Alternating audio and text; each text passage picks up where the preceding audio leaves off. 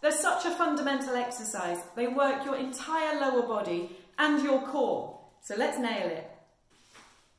Feet a little wider than hips, toes facing forward.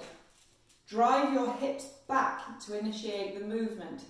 Back flat, chest up, knees over your toes, not caving in or coming out.